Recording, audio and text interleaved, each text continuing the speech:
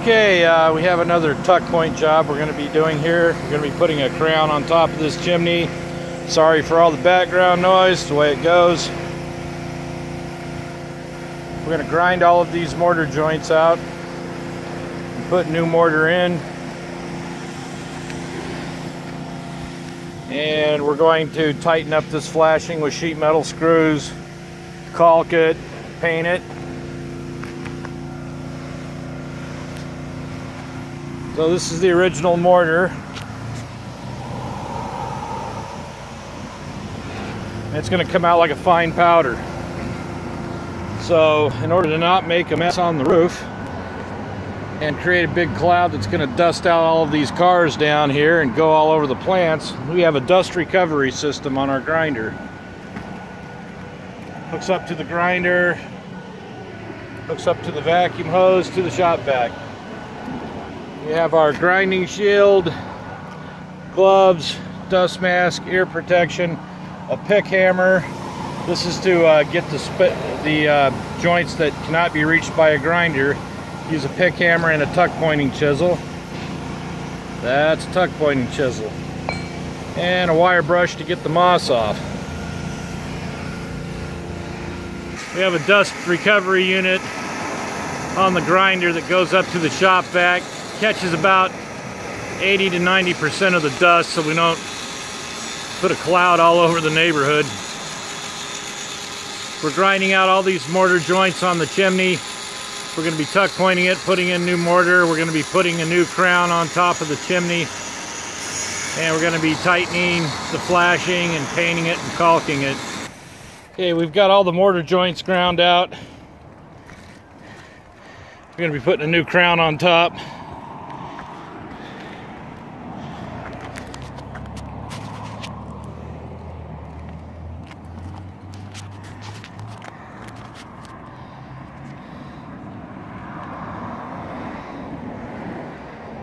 Okay, so we've ground out all of our mortar joints and we're going to start squirting up the uh, mortar mix.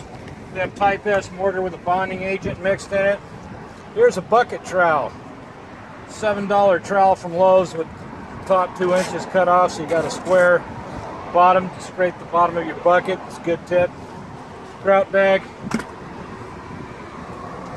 Uh, getting the mud out of the bag is a combination of keeping it cinched up. Got this triangle here keeping a tight triangle, cinching here, and at the same time kind of squeezing here and squeezing here. It's a bit of an art. Takes a little practice. Do your vertical joints first.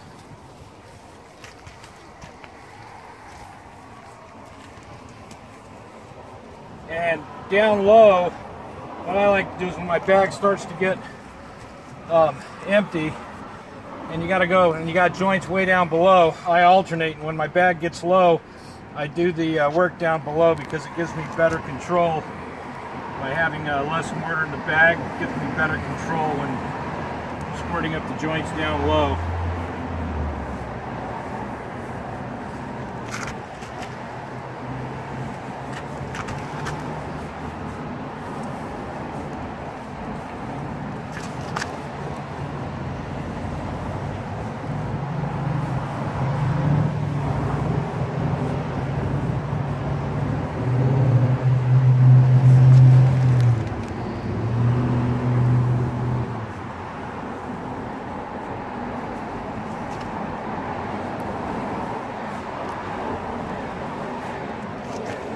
I'm squeezing with this hand first, and I'm squeezing the back hand to push the mortar forward.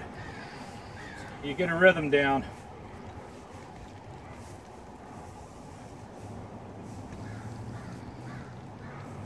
The mortar that I'm squirting in, I'm coming out past the face of the brick fairly far because I need some substance to tuck in into the joint.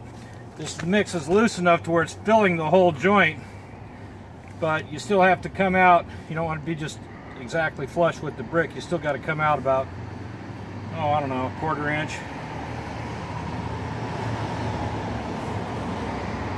So see, I've got just a little bit of mud left here, and I'm going to go down low. Makes it easier to work with. When you're down low in a tight area, just alternate back and forth as as your bag gets low, go down low on the structure and uh, squirt it up. Okay, uh, so the mud's uh, enough to where you can leave a fingerprint. Um, start striking.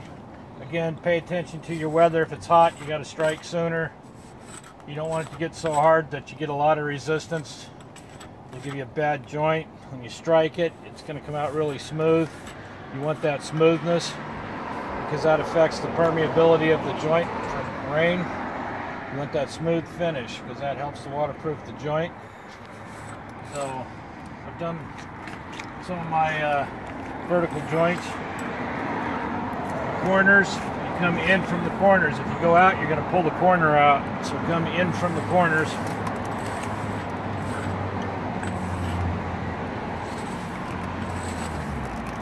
On this job, we're using a concave striker. Sometimes they have a flat strike finish. This is concave, round. This is flat.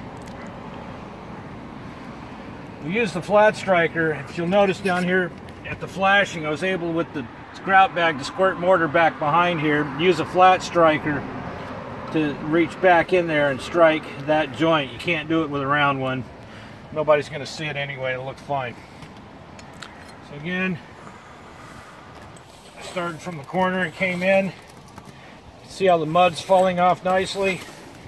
I'm striking at just the right time. I have a motto. It's called don't fight the strike. And what that means is strike at the exact right time and the mud's set up exactly right and it'll be an easy job. Get a nice smooth finish. That's critical.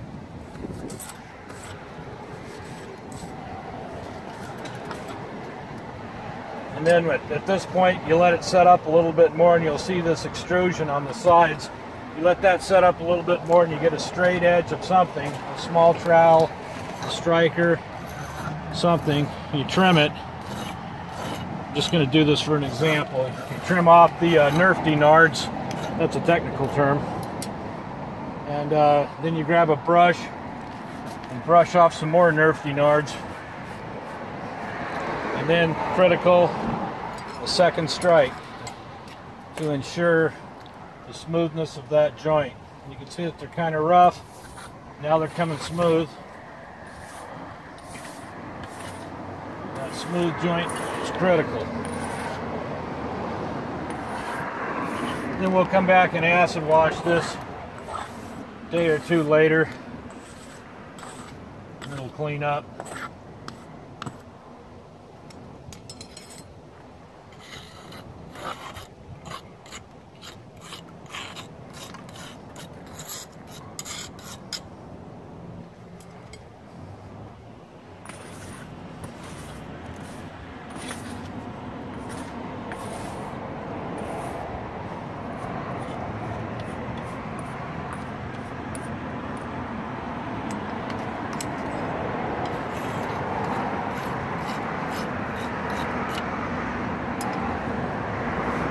These are cheap dollar store brushes.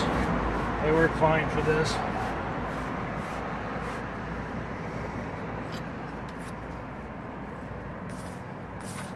Nice smooth joints.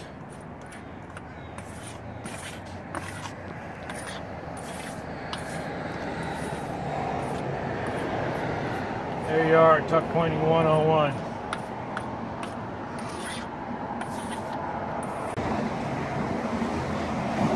Okay, here's the almost finished product. We have to wait a day or two and come back and acid wash. You'll get these little mortar stains on the brick and it comes off with a solution of water and muriatic acid. We still have to paint and tighten the flashing. But you get the idea.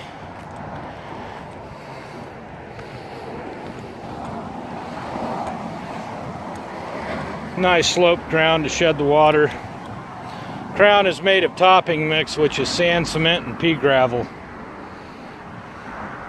Usually you can find it at Home Depot called and it's called topping mix.